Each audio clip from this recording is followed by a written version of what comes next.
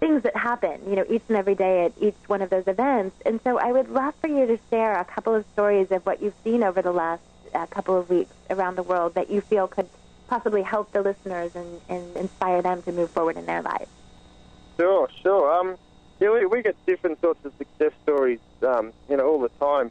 And um, I'm involved with a lot of crew crew members who people who have done the events before, and they come back and they volunteer their time to uh, to help other people transform. And just by coming back and helping helping other people transform, they in turn become sort of coaches, if you like.